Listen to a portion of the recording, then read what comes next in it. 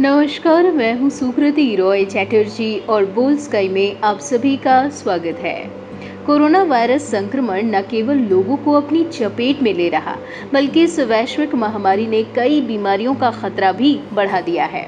महामारी की शुरुआत के बाद डायबिटीज़ और मोटापे की समस्या में लगातार इजाफा देखा गया है। वहीं समय समय पर एक्सपर्ट्स और यहाँ तक कि विश्व स्वास्थ्य संगठन ने भी कोरोना काल में विभिन्न स्वास्थ्य समस्याओं के बढ़ने की आशंका जताई है। अब शोधकर्ताओं ने दावा किया है कि कोरोना वायरस संक्रमण की वजह से टीबी के मरीजों में ये बीमारी दोबारा उभर सकती है। हाल ही में एक स्टडी के परिणाम के आधार पर दावा किया गया है कि सार्स कोवी टू जो कोविड 19 संक्रमण का कारण है, ये वायरस निष्क्रिय टीबी को दोबारा सक्रिय करने में सक्षम होता है। इस स्टडी का आयोजन मैसेच्यूसेट्स यूनिवर्सिटी और भारत के गुवाहाटी शहर में स्थित भारतीय प्रौद्योगिकी संस्थान के रिसर्चर्स ने मिलकर किया है।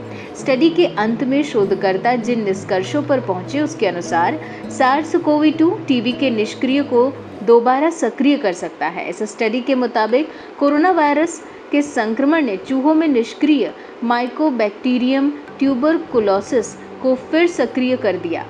वहीं इस स्टडी के मुताबिक कोरोना वायरस महामारी के लिए जो वैक्सीन तैयार की जा रही है उनकी मदद से टीबी की बीमारी से भी सुरक्षा मिलती है। इसलिए ऐसा कहा जा सकता है कि कोविड वैक्सीनेशन न केवल कोरोना संक्रमण, बल्कि टीबी से भी आपको बचाता है।